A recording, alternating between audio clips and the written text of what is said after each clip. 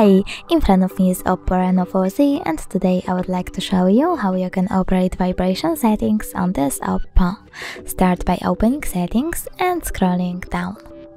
Then choose sound and vibration over here and now you can click on the switcher next to vibrate on ring to enable or disable vibrations for incoming calls. You can also tap on the switcher next to vibrate on silent to turn on or off vibrations while your device is muted. Then scroll down click on more sounds and haptic over here and click on the switcher next to vibrate on touch to turn off or on touch vibrations. Thanks so much for watching, if you enjoyed this video don't forget to leave a like, comment and subscribe. Bye!